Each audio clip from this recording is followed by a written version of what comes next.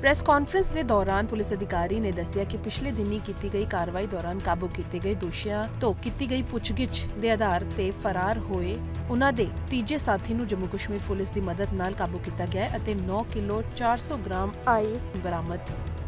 ਕੀਤੀ ਗਈ ਹੈ। ਉਹਨਾਂ ਨੇ ਦੱਸਿਆ ਕਿ ਫੜੇ ਗਏ ਦੋਸ਼ੀ ਕਰੀਬ ਪਿਛਲੇ 5 ਸਾਲਾਂ ਤੋਂ ਨਸ਼ਾ ਤਸਕਰੀ ਦੇ ਨਾਜਾਇਜ਼ ਕਾਰੋਬਾਰ ਦੇ ਵਿੱਚ ਲਿਪਤ ਹਨ ਜਿਨ੍ਹਾਂ ਤੋਂ ਅੱਗੇ ਦੀ ਪੁੱਛਗਿੱਛ ਕੀਤੀ ਜਾ ਰਹੀ ਹੈ। ਸਾਡੇ ਮਾਨਯੋਗ Harpreet Singh Sidhu ji DGP chief STF ਦੇ ਦਿਸ਼ਾ ਨਿਰਦੇਸ਼ਾਂ ਅਨੁਸਾਰ ਅਤੇ ਸਾਡੇ ਸ਼੍ਰੀਮਾਨ ਸਨੇਹਦੀਪ ਜੀ ਏਆਈਜੀ ਪੀਪੀਐਸ ਏਆਈਜੀ ਸਾਹਿਬ,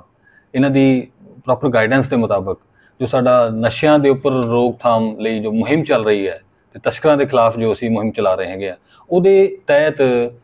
ਕਾਰਵਾਈ ਕਰਦੇ ਹੋਏ ਸਾਡੇ ਇੰਸਪੈਕਟਰ ਐਸਟੀਐਫ, ਹਰ, ਹਰ- ਹਰਬੰਸ ਸਿੰਘ ਜੀ ਨੂੰ ਇੱਕ ਇਨਫੋਰਮੇਸ਼ਨ ਹੋਈ ਸੀਗੀ ਜਿਹਦੇ ਆਧਾਰ ਤੇ ਬੀਆਰਐਸ ਨਗਰ ਤੋਂ ਮਿਤੀ 27 ਤਰੀਕ ਨੂੰ 27 6 ਦੀ 27 6 ਨੂੰ ਉਥੋਂ ਦੋ ਲੜਕੇ ਅਰੈਸਟ ਕੀਤੇ ਸੀਗੇ। ਇੱਕ ਦਾ ਨਾਮ ਸੀਗਾ ਹਰਪ੍ਰੀਤ ਸਿੰਘ ਏਲੀਅਸ ਬੋਬੀ, ਦੂਸਰਾ ਅਰਜੁਨ। ਤੇ ਉਹਨਾਂ ਕੋਲੋਂ ਮੌਕੇ ਤੇ 2 ਕਿਲੋ ਐਮਫੈਟਾਮਾਈਨ ਸਾਨੂੰ ਬਰਾਮਦ ਹੋਈ ਸੀਗੀ ਤੇ ਉਸ ਵੇਲੇ ਉਹਨਾਂ ਦੀ ਮੇਰੀ ਪ੍ਰੈਜ਼ੈਂਸ ਦੇ ਵਿੱਚ ਜਦੋਂ ਇਹ ਬਰਾਮਦਗੀ ਤੋਂ ਬਾਅਦ ਉਹਨਾਂ ਨੇ ਇਹ ਡਿਸਕਲੋਜ਼ਰ ਸਟੇਟਮੈਂਟ ਦੇ ਆਧਾਰ ਤੇ ਸਾਨੂੰ ਦੱਸਿਆ ਕਿ ਹੋਰ ਵੀ ਸਮਾਨ ਜਿਹੜਾ ਹੈਗਾ, ਤੀਸਰਾ ਇਹਨਾਂ ਦਾ ਜਿਹੜਾ ਹੈਗਾ ਇਹਨਾਂ ਦਾ ਸਹਿ ਦੋਸ਼ੀ ਜਿਹੜਾ ਇਹਨਾਂ ਦੇ ਨਾਲ ਸੀਗਾ ਅ, ਵਿਨੇ ਏਲੀਅਸ ਅਸ਼ੋਕ ਵਿਸ਼ਾਲ ਸੌਰੀ ਵਿਸ਼ਾਲ। ਤੇ ਉਹਦੇ ਘਰ ਦੇ ਵਿੱਚੋਂ ਸਾਨੂੰ ਹੋਰ ਵੀ ਉਹ ਸਮਾਨ ਬਰਾਮਦ ਹੋ ਸਕਦਾ ਹੈਗਾ। ਤੇ ਜਦੋਂ ਉਹ ਸਾਨੂੰ ਉਹਨਾਂ ਦੇ ਘਰ ਲੈ ਕੇ ਗਏ ਤੇ ਉਹਨਾਂ ਦੇ ਘਰ ਦੇ ਵਿੱਚ ਕਮਰੇ ਦੇ ਵਿੱਚੋਂ ਸਾਨੂੰ 18 ਕੇਜੀ 800 ਗ੍ਰਾਮ ਐਮਫੈਟਾਮਾਈਨ ਜੋ ਹੈ ਹੋਰ ਬਰਾਮਦ ਹੋਈ। ਤੇ ਤੀਸਰਾ ਜਿਹੜਾ ਵਿਸ਼ਾਲ ਐਲਿਸ ਆਪਣਾ ਵਿਨੇ ਸੀਗਾ ਉਹ ਸਾਨੂੰ ਮੌਕੇ ਤੇ ਨਹੀਂ ਮਿਲਿਆ ਸੀਗਾ। ਉਹਦੇ ਬਾਰੇ ਜਦੋਂ ਸਾਨੂੰ ਪਤਾ ਚੱਲਿਆ ਸੀਗਾ ਕਿ ਉਹ ਸ਼੍ਰੀਨਗਰ ਵਾਲੇ ਸਾਈਡ ਤੇ ਕਿਤੇ ਹੈ। ਸੋ ਸੀਨੀਅਰ ਆਫੀਸਰਸ ਦੇ ਕੋਆਰਡੀਨੇਸ਼ਨ ਦੇ ਨਾਲ ਕੇ ਪੁਲਿਸ ਦੇ ਨਾਲ ਜਦੋਂ ਤਾਲਮੇਲ ਕੀਤਾ ਗਿਆ ਇਸ ਮਸਲੇ ਤੇ। ਜੀ। ਹਾਂ ਤੇ ਬਾਰਾਮੂਲਾ ਦੇ ਵਿੱਚੋਂ ਇਹਨੂੰ ਸ਼੍ਰੀਨਗਰ ਕੇ ਦੀ ਪੁਲਿਸ ਨੇ ਇਹਨੂੰ ਅਰੈਸਟ ਕੀਤਾ ਤੇ ਮਿਤੀ 29 6 ਨੂੰ ਸਾਡੀ ਪੁਲਿਸ ਪਾਰਟੀ ਇੱਥੋਂ ਉੱਥੇ ਜਾ ਕੇ ਉਹਨੂੰ ਟ੍ਰਾਂਜ਼ਿਟ ਰਿਮਾਂਡ ਤੇ ਇੱਥੇ ਲਿਆ ਕੇ ਕੋਰਟ 'ਚ ਪ੍ਰੋਡਿਊਸ ਕੀਤਾ ਤੇ ਇਹਦਾ ਸਾਨੂੰ ਰਿਮਾਂਡ ਹਾਸਿਲ ਹੋਇਆ 5-7 ਤੱਕ ਜਿਹੜਾ ਵਿਸ਼ਾਲ ਉਲਫ ਉਰਫ ਵਿਨੇ।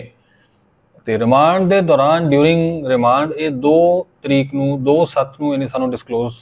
ਕੀਤਾ ਕਿ ਇਹਦੇ ਘਰੇ ਹੋਰ ਵੀ ਜਿਹੜੀ ਹੈਗੀ ਹੈ ਪਈ ਹੈਗੀ ਹੈ ਸੋ ਇਹਨੇ ਜਾ ਕੇ ਉੱਥੋਂ ਸਾਨੂੰ ਬਰਾਮਦ ਕਰਾਈ ਜੋ ਇੱਕ ਆਪਣੇ ਘਰ ਦੇ ਵਿੱਚ ਇੱਕ ਸਟੋਰ ਦੇ ਵਿੱਚੋਂ ਜਿੱਥੇ ਕਿ ਬਹੁਤ ਸਾਰੇ ਫਲੈਕਸ ਪਏ ਸੀਗੇ ਫਲੈਕਸ ਫਲੈਕਸ ਦੇ ਵਿੱਚੋਂ ਇਹਨੇ ਇੱਕ ਸਾਨੂੰ ਬੈਗ ਬਰਾਮਦ ਕਰਵਾਇਆ। ਉਸ ਬੈਗ ਦੇ ਵਿੱਚ ਜਿਹੜੀ ਐਮਫੈਟਾਮਾਈਨ ਸੀਗੀ ਉਹ 9 ਕਿਲੋ ਤੇ 800 ਗ੍ਰਾਮ ਅਹ, ਸਾਨੂੰ ਉਤੋਂ ਬਰਾਮਦ ਹੋਈ ਸੀਗੀ ਹੋਰ। ਤੇ ਕੁੱਲ ਰਿਕਵਰੀ ਜਿਹੜੀ ਇਹਨਾਂ ਦੀ ਹੋ ਗਈ ਹੈ ਹੁਣ 30 ਕਿਲੋ ਤੇ 200 ਗ੍ਰਾਮ ਐਮਫੈਟਾਮਾਈਨ ਇਹ ਤਿੰਨਾਂ ਕੋਲੋਂ ਬਰਾਮਦ ਹੋ ਚੁੱਕੀ ਹੈ। ਸਰ ਇਹ ਇਹਨਾਂ ਦੀ ਬੈਕਗ੍ਰਾਉਂਡ ਕੀ ਹੈ ਤੇ ਇਹਨਾਂ ਦੇ ਜਿਹੜੇ ਕੋਈ ਸੰਬੰਧ ਉਜਾਗਰ ਹੋਏ ਨੇ ਵੀ ਕਿਹੜੇ ਕਿਹੜੇ ਦੇਸ਼ਾਂ ਦੇ ਨਾਲ ਸੰਬੰਧ ਸੀਗੇ ਜਾਂ ਇਹ ਕਿੱਥੋਂ ਇੰਨਾ ਭਾਰੀ ਮਾਤਰਾ ਦੇ ਵਿੱਚ ਆਈਸ ਵਗੈਰਾ ਲੈ ਕੇ ਆਉਂਦੇ ਸੀ? ਹਾਂ ਇਹ ਪਤਾ ਲੱਗਿਆ ਕਿ ਕਰੀਬ 5-6 ਸਾਲ ਤੋਂ ਇਸ ਕੰਮ ਦੇ ਵਿੱਚ ਇਨਵੋਲਵ ਹੈਗੇ ਨੇ ਤੇ ਬਾਕੀ ਇਹਦੇ ਜਿਹੜੇ ਸਬੰਧ ਹੈਗੇ ਆ, ਜਿਹੜੇ ਤਿੰਨਾਂ ਅਰੈਸਟ ਕੀਤੇ ਹੈਗੇ, ਇਸ ਤੋਂ ਇਲਾਵਾ ਜਿਹੜੇ ਇਹਨਾਂ ਦੀ